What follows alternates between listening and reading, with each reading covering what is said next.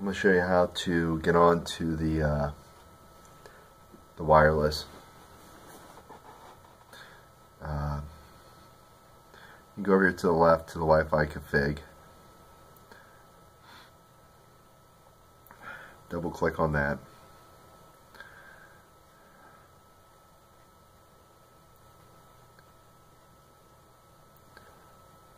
Alright, let me minimize this.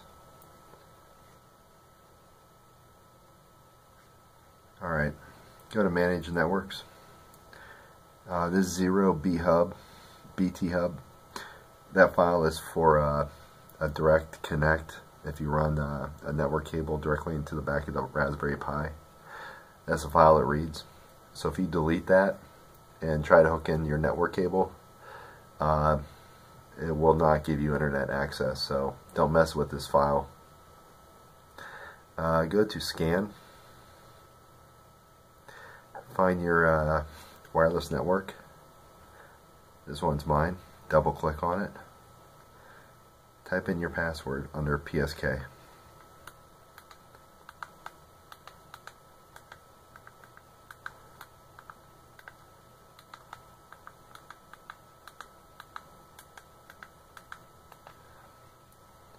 Click on add.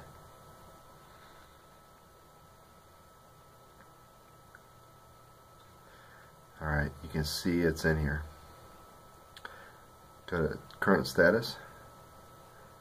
You can see it's connected and it assigned a network address.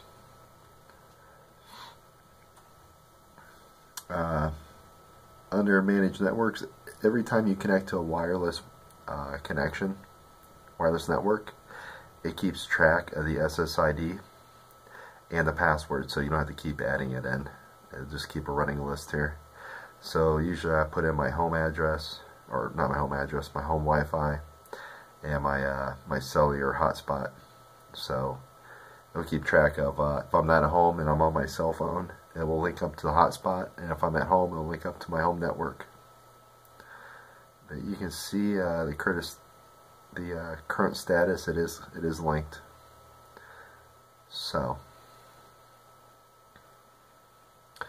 You can see down here in the system tray it's running. Alright, so that's how you uh, connect Wi-Fi um, through your wireless uh, card on your Raspberry Pi.